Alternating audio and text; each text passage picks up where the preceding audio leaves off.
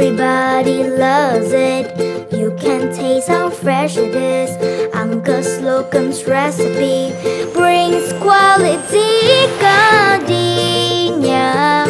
So good you can even eat it. Wake up, dear. no artificial, synthetic, or natural preservatives added.